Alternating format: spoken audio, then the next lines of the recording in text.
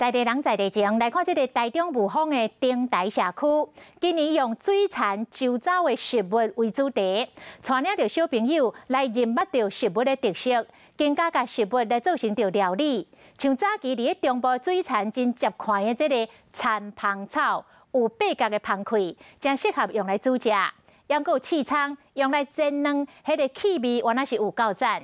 希望透过料理来找回着过去迄种。单纯的滋味。老师提食物向囡仔小解，这个生活伫水产搁有溪流当中的食物，和生活有关联，却毋捌真正去熟悉过。顶台社区今年以水产附近的食物的食材，变做几啊项好食的料理。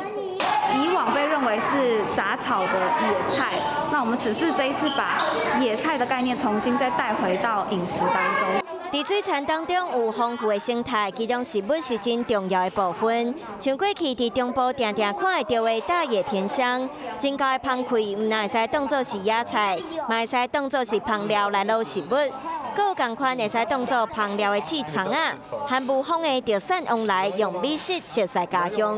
呃，用来做料理啊，或者是摆设等等的。然后透过这个活动，还可以跟小朋友们互动，让他们知道，哎，哪些东西是。